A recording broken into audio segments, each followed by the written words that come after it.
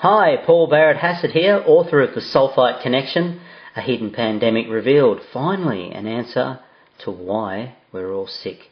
Today I'd like to share with you about salicylates and the sulphite connection.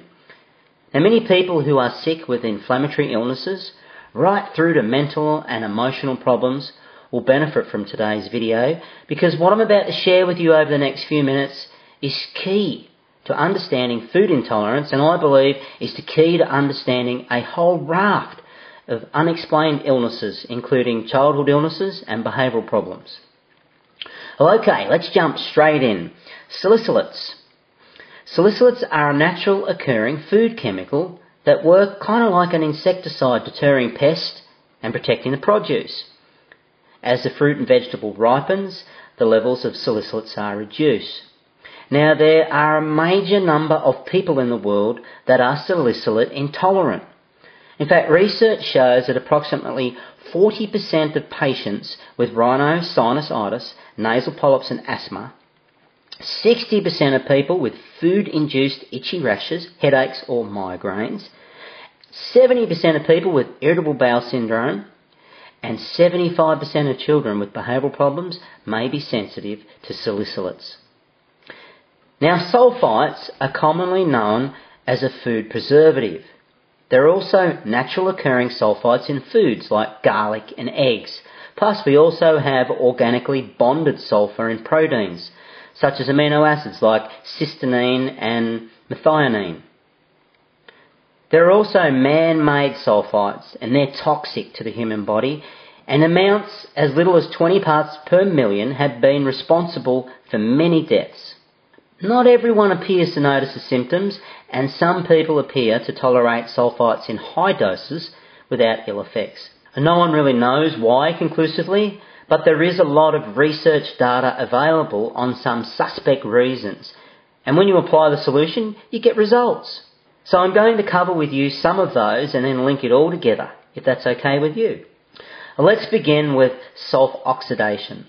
Sulf-oxidation is a detoxification pathway that occurs in our cells in which sulfite oxidase converts sulfites into sulfates so they can be safely eliminated from the body.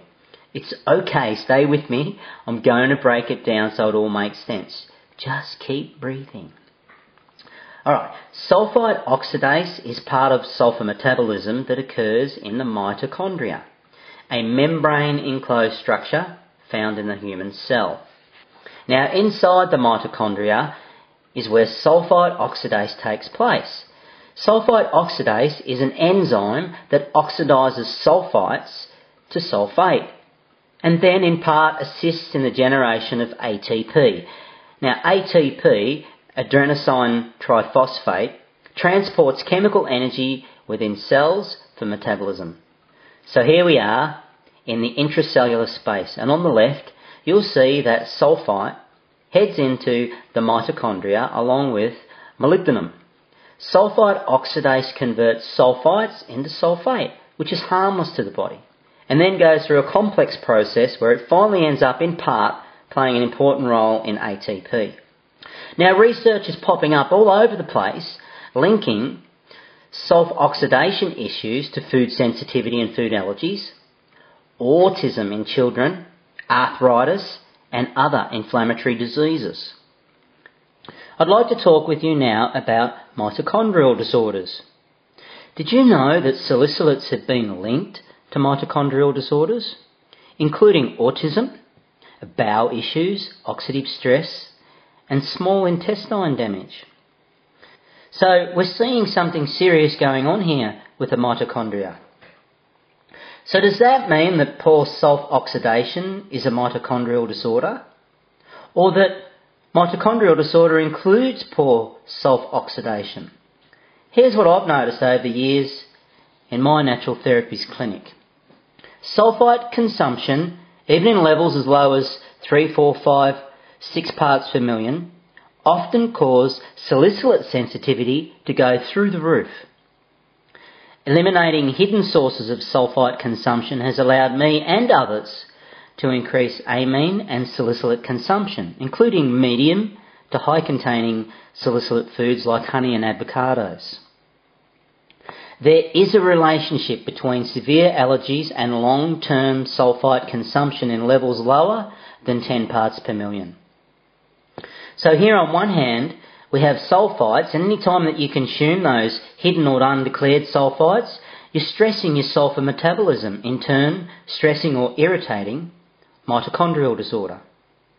And on the other hand, we have salicylates, and when we're consuming foods that contain salicylates, you're stressing or irritating mitochondrial disorders.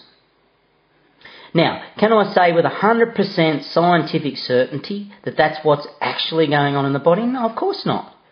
But what I do know is that the antidote works. So what's the antidote? What's the remedy here? Well, by reducing all hidden and undeclared sulfites in your diet along with reducing salicylates. That's the key. You, they must go hand in hand.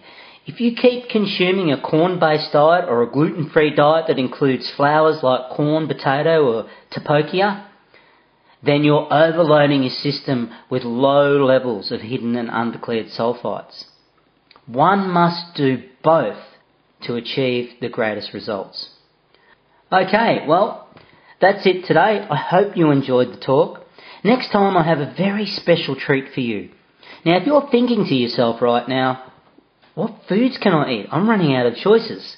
Well, you're in for a treat next time because I'm going to share something with you very special. So until we meet again, bye for now.